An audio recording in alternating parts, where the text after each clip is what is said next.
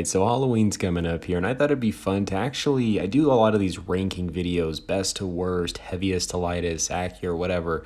And so I thought it'd be fun to actually rank all the Halloween tanks that have come out. I know there's some new ones coming up, but just in the spirit of the season coming up, thought this would be fun to do.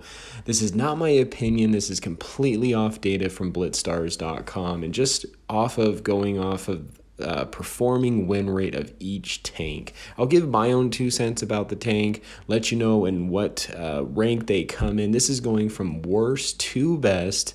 And in a way, even going through this list, it almost doesn't even surprise me. Um, but in some cases, I thought maybe some would rank higher than others. But let me know what your guys' opinion is on these tanks and how these tanks would rank in your opinion. So, going off, the number one, starting off is the worst performing Halloween tank that World of Tanks Blitz has come out with, is actually the Nightmare uh, at a 53.03% average win rate across the player base.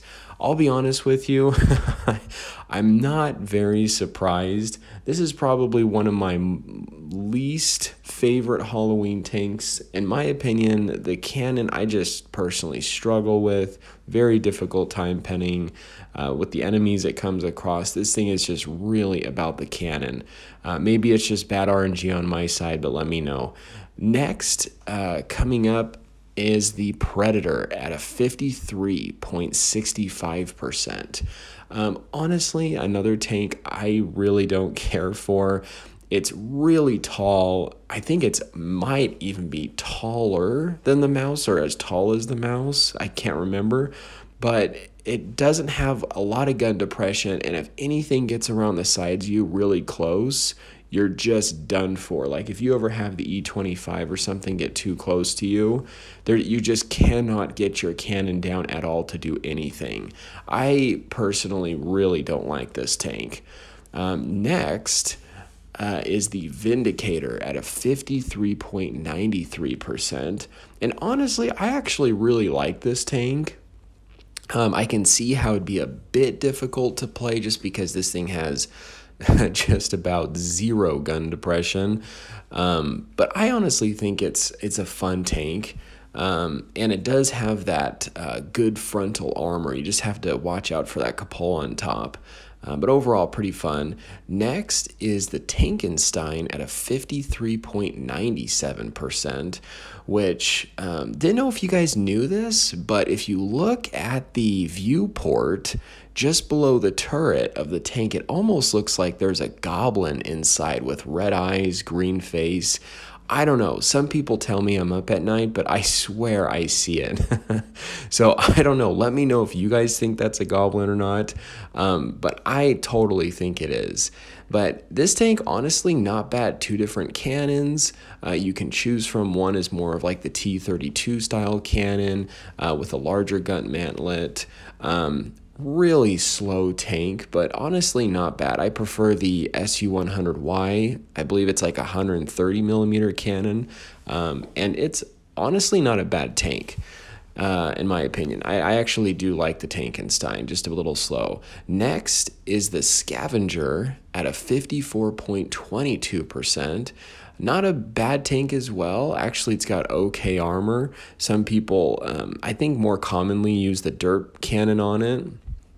I actually prefer the the other cannon just for the little bit better accuracy and and uh, penetration.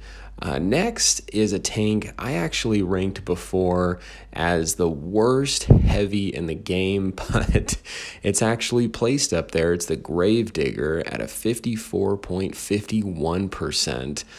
I just don't like this thing because really just all about its cannon. Uh, it's its accuracy and how its aimer resets every time after shooting something that does so minimal damage.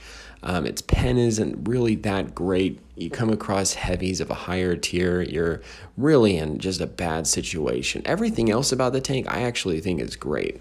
Um, next is in third place is the Lycan at a 54.98%. Honestly, I like this tank. I actually think it's a good tank, good turret, good gun depression, maneuverability. Um, so yeah, just this good tank. And then the last two, I'll be honest with you, almost no no surprise here. Uh, in second place was the Helsing at a 55.12%. Great maneuverability. That double shot cannon is fun. It's unique to the game. Um, yeah, and just very, very sloped armor can be actually trollish at times. And, but yeah, that came in second. And then the last, or the one that ranked as number one, the best performing Halloween tank that World of Tanks Blitz has come out with so far, average win rate across the player base, is the Dracula at a 55.49%.